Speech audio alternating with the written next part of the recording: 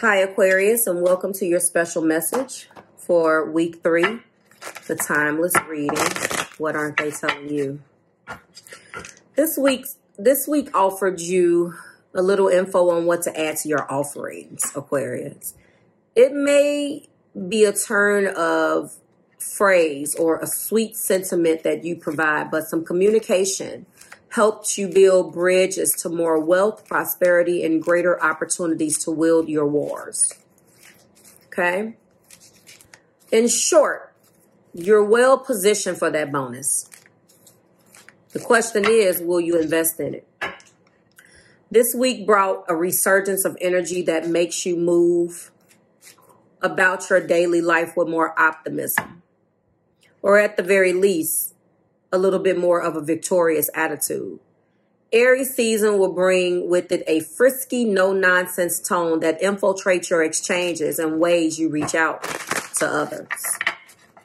But as Mars will trine Saturn, you'll get to experience the benefits of all of the structures that you've put in place, personally and otherwise.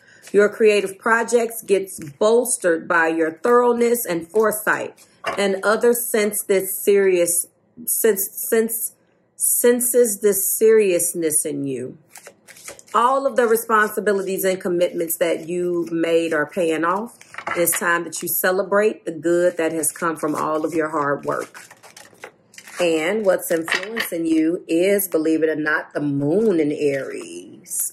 Having courage the moon in Aries, the card of 13, the sum of which is four, all about your courage, courage to reinvent your stability, believing in yourself. That's what this does, okay? Well, I hope that that gave you a little inspiration, Aquarius. Let's get into your video.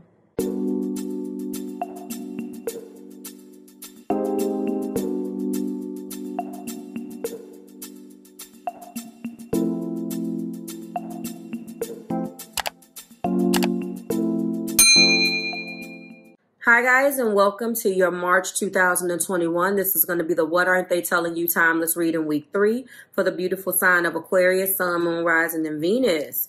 If you're new here with me, hello, hello. If you are returning, welcome back. And if you are subscribed to the tribe, and what's good, fam bams, hello to my members. Hello, Aqua. Um, I hope you enjoyed your special message. Um, it is go time for you guys. Um, and so it was beautiful. So I hope that the things that you are cultivating come to pass in your life and good luck with that. This is going to be, again, the what aren't they telling you. We're going to take a look and see how your partner and what your partner isn't telling you. But first, we always start with a three card quantum reading um, just to get energetically where you at. These are energy cards. Understand, guys, this is energy um, and everything is energy. So how you're interacting with people, what are your intentions, what's on your conscience, things of that nature. So um, the more and more I introduce this, the more and more this uh, comes into play. You guys are kind of getting used to it, okay? So everything that you need from me is below. I also want to draw your attention to four different categories or four different videos down in the description box. The first one is going to be your seven card quantum cross for March 2021 for your sign. The second video is going to be either your episode from last week in week two to see what they were not telling you then and what was going on. Everything's time stamped, by the way, in this particular series because I give you three different readings in one by the way. Um, the second, the third one is going to be the informational video that accompanies this week's um, series. And the fourth and final is going to be your you versus them. I am so excited to bring those. Um, I got some more cards that we're going to be using. I cannot wait. Um, the first through the 15th you versus them is up for your sign aqua um, i'm going to be bringing you the um, 15th through the end of the month in the next couple of days. Those those messages are wedged between week three and week four. So you will get that. Let's get started. So the first card that is indicating a past influence that's bringing energy into your current circumstances is the loving man this loving man comes up for you guys a lot. It seems like every Aquarius video of the loving man comes out. We do have that as a five. I tell you guys all the time, fives bring challenges. It has been a challenge for this individual to love you or to bring love to you the way in which you need love, or it could be a metaphor for finding the loving man. I want you guys to understand that the three cards are energy cards and you should take them as energy. Sometimes they're not literal, they're very metaphoric. Okay, so look at that in people, places, and things in your life. Um, also, where you are right now is you're on the verge of discovery. Now, had I, I had already showed you that you needed to believe in yourself in the moon in Aries and have some courage. Um, so you have to believe in yourself as well as that was very, very much so supported by your special message. So you are in a discovery. This is setting the intention to discover, opening yourself up to other parts of you, people, places, and things, and you're going to be transforming into that energy. Um, it doesn't feel like, well, yeah, you have something has to end in order for you to find yourself, but it's really interesting what you have here. There could be a choice between two people, but anyway, let's keep going. And we end with present power, walking into your present power. This is the consciousness card. Um, the the potential outcome, obviously, is that if you do, um, if you're into this energy and this energy resonates with you, you're going to be walking out in your present power. You are powerful. Um, again, that goes and falls right back in line with having courage for yourself and obviously believing in yourself. And that is being clarified by travel. So there's something that you need to do, something that you need, some place that you need to be. Um, you need to get out of your current circumstances. I am a prime example of that. I definitely had to have a um, change of scenery and left on my own, put put together a plan. All it takes is a little money in the bank and a plan and a good plan. You're not going to be able to, um, you know, foresee all of the little things that comes along, but you a well put together plan and a good support system you can make it. So if if you're being guided to travel, go and explore, okay? Um, an energy that could be weaving in and out of your present energy right now is a consciousness of lack. It could be because of that loving man. That loving man was also a five, and he is a person. So it's coming in um, as maybe this is what you're in. As you can see, this man is, um, this is a heart back here. So that is a consciousness of lack and you want to move out of that that could have been the exact energy that actually held you down and made you stagnant and that's being clarified by well-being. So i think this is a time for discovery for you for you to do things that are about you. And it was very this is very similar to the cancers reading. Sometimes you have to get lost to find yourself. I told them to come home to your to themselves. I'm telling you to step into your courage. First card that represents what your person isn't telling you is the Nine of Cups. The second card is the Tower. Something has definitely broken down. In the heart place, we do have Ace of Swords. We have the King of Cups. And we have the King of, is that Pentacles? Wands. We have two different kings. Now, I typically don't automatically see the energy of two kings and think someone has a choice between, no.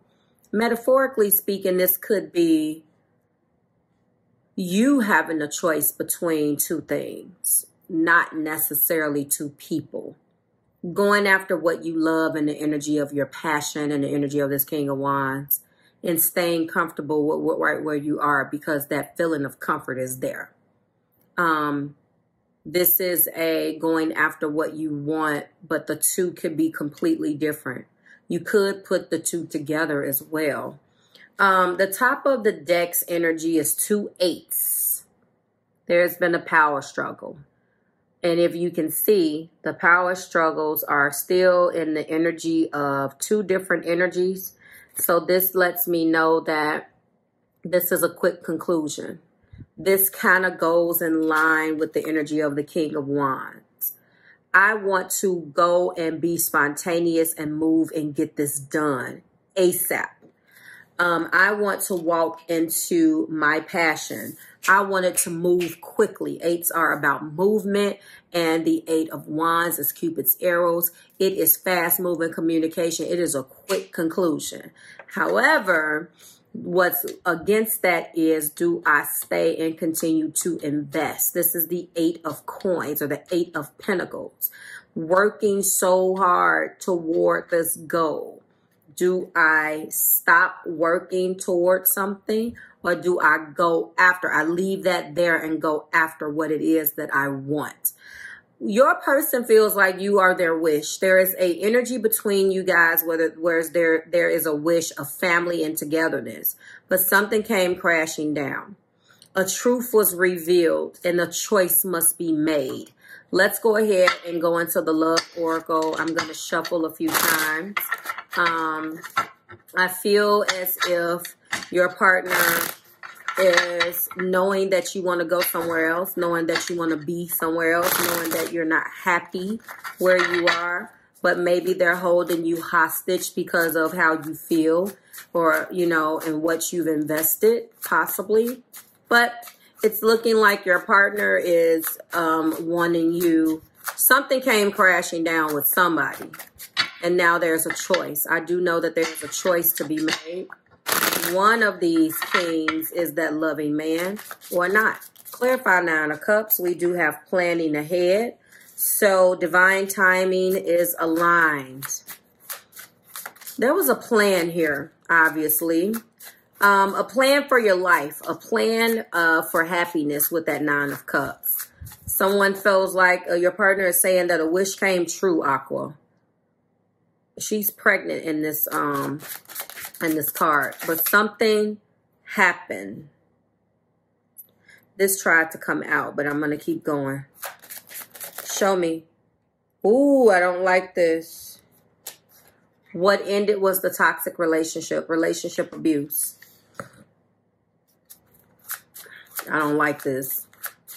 Toxic relationship. Your person, I'm reading this in the vein of the individual that loves you. This is what aren't they telling you? It has yet to be revealed who's being toxic yet. There's a truth that you did have fun times together. But fun times does not sustain a relationship. King of Cups. No to the feelings. Okay. Now it's making sense they're coming through and knowing that you're saying no to, to keep this. Yep. Yep. They've come back. A past a past lover returns. All right. This is what they're not telling you, that they know that the relationship is over. Perhaps an ex-lover or a past life partner. Um, you guys um, broke up. You did have a good time together. You've cut the feelings off and they know that you're saying no to those feelings. They are coming back in. They're saying that they love you and they're coming back in because they feel like that you're their soulmate. Look how that came out. Wow. Damn. Okay. But that didn't give me enough. So I am going to break out. I call it the ratchet deck, but it definitely lets me know.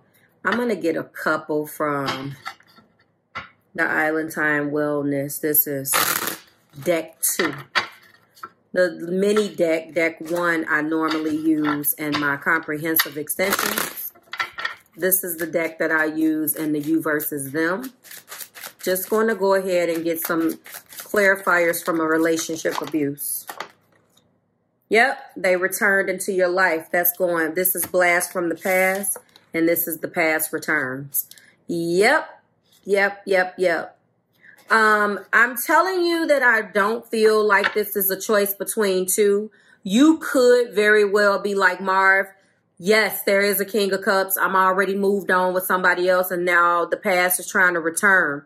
This King of Wands is trying to return. But I see a no right there. So no is clarifying the King of Cups. I feel like that's also the energy of this person. It could be a completely different person. They've returned from the past. Give me something else. And you are keeping your space. You are not playing. Um, you you are in your space. You are not playing with this person and not letting them in. Show me, spirit. And then we have yes. They uh, they they came at you. You didn't think that after everything that you guys have been through that they would have the audacity to actually feel like they wanted to come back and have a revelation about how they were feeling about you. You think that that is just pure craziness. You've walked away from this. You've definitely walked away from this and you don't want any parts of this. Let's go in now with sacred soulmates. They are saying that you are a soulmate to them. They want to renew an adventure. That's what they want. That's my plan in the head. Clarify relationship abuse. Oh, nice. Clarify. Come on. Clarify. Oh. All right. Hold on. Let me shuffle again. We're in, we're in a pattern. What's this relationship of the spirit that came crashing down for Aquarius? Ah, the external party. There was just too much. It was too much. It was karmic contracts, family, finances, and other material concerns or responsibility that caused interference and stress in this relationship. And it came crashing down. Clarify fun times. Unresolved wounds, karmic patterns, and inheritances affected the situation. And there was more karmic. This is another karmic patterns. Um, this, oh, oh, there, this is, yes, we had a good time, but that's not enough to sustain a relationship. So I decline. You're saying no to the love. This is the white flag. So yes, I really do feel like this is two facets of their personality. I'm sorry, that's what I'm going with. They want to come and step up into their king of cups because they know what they want now. You're saying no, and that's being clarified by white flag. Someone wants another chance to do things right. It makes sense. Clarify past relationship, the past returns. This king of wands. Yes. He they're in your energy. Strong uh uh telepathic bond because it is it is it listen it is a soulmate relationship or was but that doesn't mean you were meant to be with this person. Do you understand? Give me one more please. Ugh, one more time that you fall. Gee because when it does it's hard for me to pick them up with with my claws yep stalemate this situation, someone needs to make decisive action. Um, the top of the deck is guilt. They feel guilty. Guilt, shame, and deep remorse over past actions and words are hindering this relationship. You're done. Um, you don't want to be bothered with it. So it looks like everything that I was explaining up there is exactly what you're going through right now, Aquarius you know, they could be working hard, but I think that you constantly felt like something was missing with this person. Um, I'm looking at the relationship abuse. It was just toxic and you don't have time. You're trying to move away from that. You're, you, you have, you, I mean, you have planned ahead.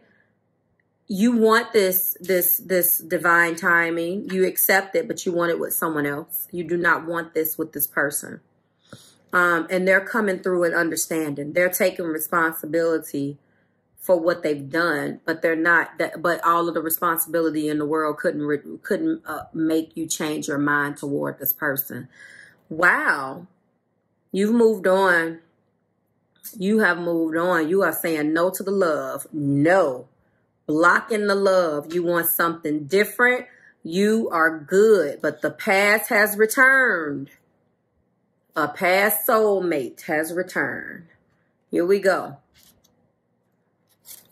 An ex-lover or a past life, a past, look at this, soulmate. The past is returning. You are not trying to hear it. Like, share, subscribe to the Marvelous Tribe. To everyone here, thank you for watching. Hope it resonated. Let me know how you feel about it in the description. To everybody else, I will see you in the mini extension. And I guess to everybody else, I'll see you next week. Bye, Aquarius.